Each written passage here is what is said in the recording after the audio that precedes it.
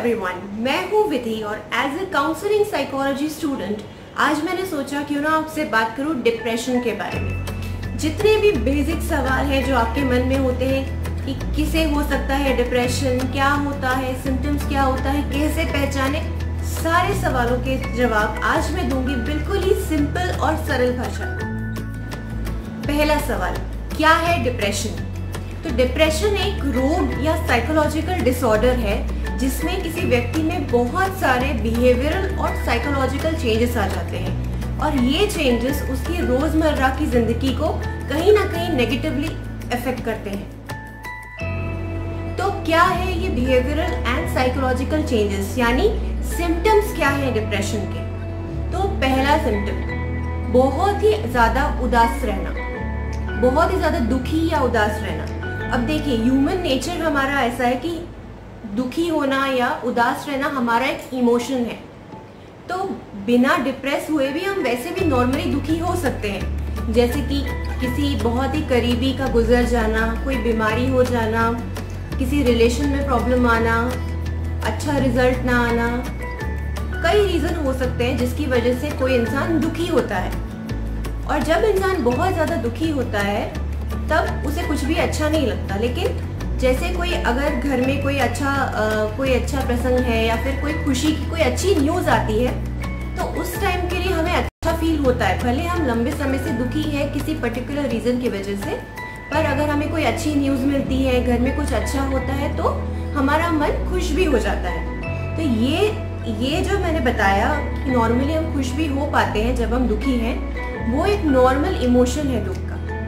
पर जब इंसान डिप्रेस्ड है तो चाहे कितनी भी अच्छी न्यूज़ हो, चाहे दिवाली हो क्रिसमस हो, कुछ भी हो, उस इंसान के मन में किसी भी चीज़ का उल्लास नहीं होता। वो जो दुख वाली फीलिंग है, वो जाती ही नहीं है। चाहे कुछ अच्छा हो या बुरा हो, आसपास कुछ भी हो रहा हो, उस इंसान का मन दुखी ही रहता है। ये फ़र्स्ट सिम्टम है डिप्रेशन का। सेकेंड सिम्टम है हर चीज़ में इंटरेस्ट ख़त्म हो जाना। अगर आप स्टूडेंट हैं, आप पढ़ाई कर रहे हैं तो पढ़ाई में इंटरेस्ट बिल्कुल ख़त्म हो जाना। जो भी आपका काम है, जो भी आपका जॉब है, उसमें इंटरेस्ट ख़त्म हो जाना। किसी भी रिलेशनशिप में इंटरेस्ट ना होना। कोई भी इम्पोर्टेंट ना लगना। ये दूसरा सिम्टम है कि हर चीज़ में से इंटरेस्ट ख़त्म हो जाना। तीसरा सिम्टम है गिल्टी फील करना। जैसे अगर आपकी लाइफ में कुछ भी बुरा हुआ या कुछ भी आसपास कुछ भी हुआ, हर चीज़ के लिए आप अपने आप को ब्लेम करने लग जाए। हर चीज़ के लिए आप अपने आप को गिल्टी मानने लग जाए। ये फीलिंग परसिस्ट करती रहे कंटिन्यूस हर बात के लिए यही फीलिंग आए। ये नेक्स्ट आपका सिम्टम हो गया डिप्रेशन का। चौथा सिम्टम है थकान लगना। हर समय जब भी आप ऐसे इंसान को देखेंगे जो डिप्रेस्ड है तो वो हमेशा आपको थका थका लगेगा। उसकी आँखों से पता चल जाएगा और हमेशा थकान में रहेगा। कुछ काम किया हो या ना किया हो, वो थकान वाली फीलिंग हमेशा उसके साथ रहेगी। पांचवा सिम्टम है किसी भी चीज़ में फोकस या कंसंट्रेट ना कर पाना।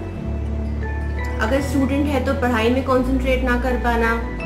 अगर हाउस वाइफ है या घर में रहते हैं तो खाना बनाने में या किसी में भी कंसंट्रेशन से काम ना कर पाना। डिसीज़न मेकिंग बहुत ज़्यादा वीक हो जाना। मोस्ट ऑफ़ द केसेस जो डिप्रेशन के होते हैं, उनका एक सिम्टम ये रहता है कि भूख बहुत ही कम लगती है। भूख लगना के बराबर लगती ही नहीं है भूख और भूख नहीं लगती और उन्हें कुछ खाने का मन भी नहीं होता। इसी कारण उनका वज़न भी बहुत ज़्यादा कम हो जाता है। और कुछ केसेस में ये भी देखा गया है कि भूख बहुत ज़्यादा लगती है। और बहुत ज़्यादा भूख लगती है तो बार बार खाने की वजह से वज़न भी बहुत बढ़ जाता है। पर मोस्ट ऑफ़ द केसेस में ये पाया गया कि एपेटाइट कम होती है। और वेट भी कम होता है। सिम्टम जो है वो है स्लीप डिसऑर्डर्स स्लीप डिसऑर्डर जैसे कि इंसोमिया नींद ना आना, या फिर बहुत ज़्यादा नींद आना। मोस्ट ऑफ़ द केसेस में नींद ना आना एक सिम्टम होगा, पर कुछ केसेस ऐसे भी हो सकते हैं जिनको बहुत ज़्यादा नींद आना। क्योंकि वैसे भी वो लोग बहुत ज़्यादा थके हुए रहते हैं तो हो सकता है कि बहुत ज़्यादा नींद आ रही है। और एक कॉमन चीज़ है जो मोस्ट ऑफ़ द डिप्रेशन के पेशेंट्स में पाई जाती है कि सुबह आँख जल्दी खुल जाना। नींद जल्दी टूट जाना। मान लीजिए अगर जो पेशेंट है वो यूजुअली सुबह सात बजे उठते हैं, पर जब भी वो सफ़र कर रहे हैं डिप्रेशन से तो उस टाइम पे कैसा होगा? सुबह चार बजे आँख खुल गई, पाँच बजे आँख खुल गई, नींद टूट जाती है और वो भी सुबह जल्दी। तो ये एक बहुत ही ज़्यादा पाए जाने वाला एक सिम्टम आठवां सिम्टम है, ऐसे ख्याल आना जिसमें फील होता है कि अपने आप को ख़त्म कर देने का मन करे। अपने आप को हार्म करने का, नुकसान पहुँचाने का मन करे।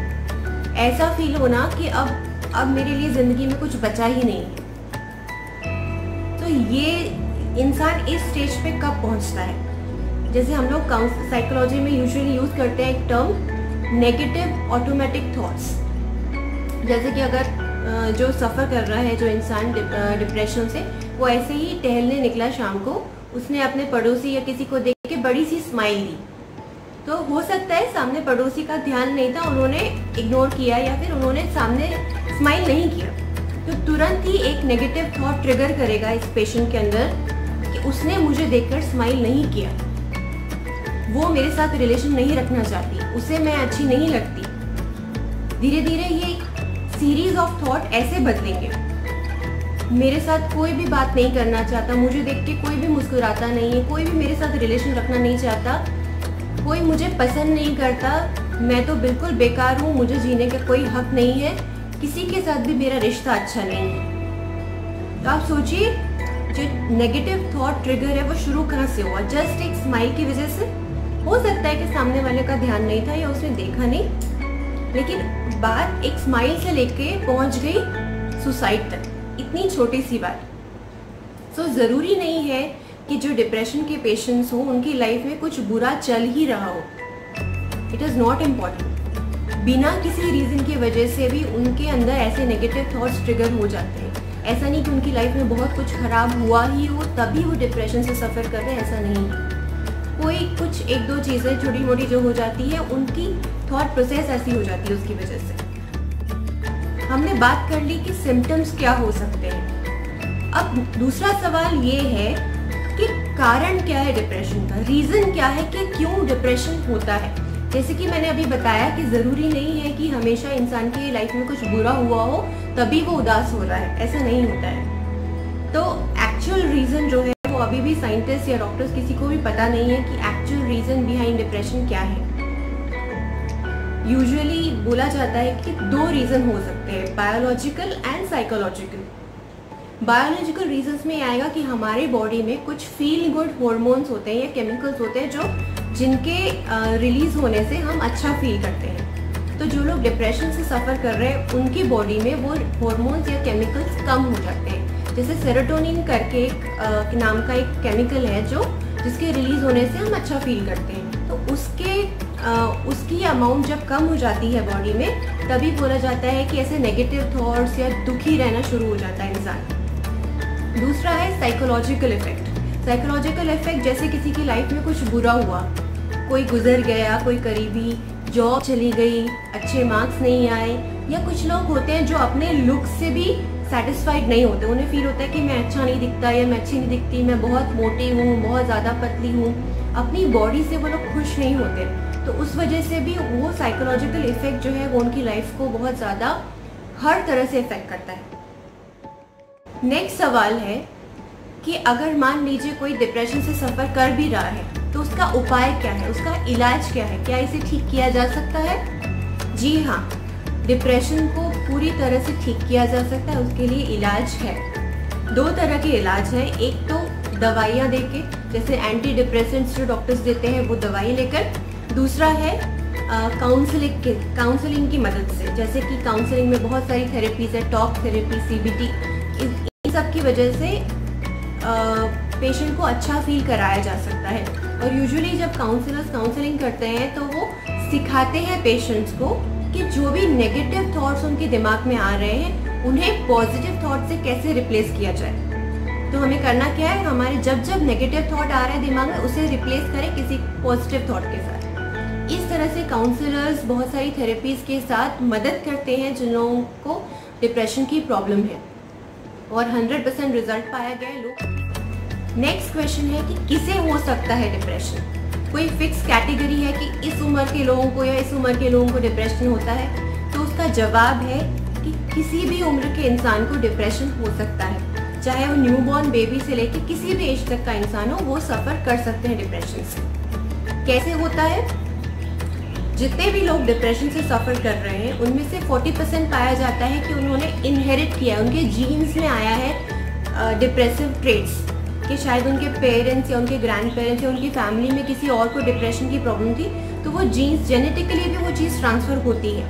और बाकी 60 परसेंट लोगों में पाया गया है कि इन्वायरमेंटल रीजंस या फिर कोई ना कोई आज जिन, जिनके साथ वो लोग रहते हैं उनमें कोई इश्यूज़ हैं या फिर रिलेशनशिप इश्यूज़ हैं या जैसे मैंने पहले रीज़न बताए, उनमें से कोई रीज़न की वजह से वो डिप्रेस हो रहे हैं।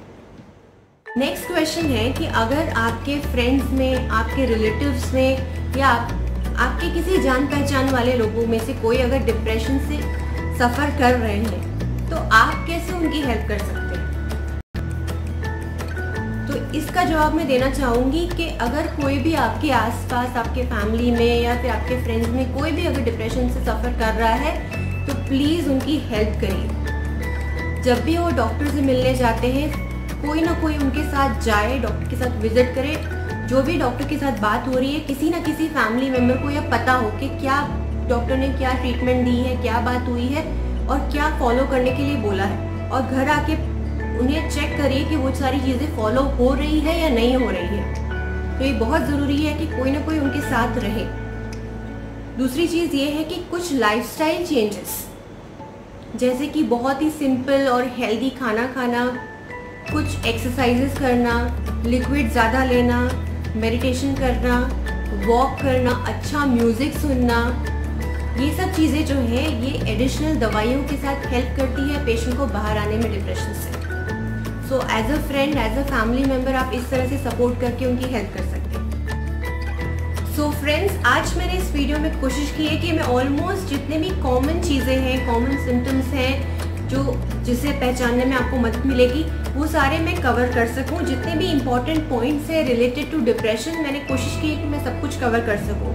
अगर आपको या आपके जान पहचान में किसी को भी ऐसा लगता है कि बहुत ज़्यादा दुखी या बहुत बार बार रोने जैसी फीलिंग आई या जो भी सिम्टम्स मैंने बताए, उनमें से दो चार सिम्टम्स जो हैं, जो दो हफ़्ते से ज़्यादा से आप फील कर रहे हैं।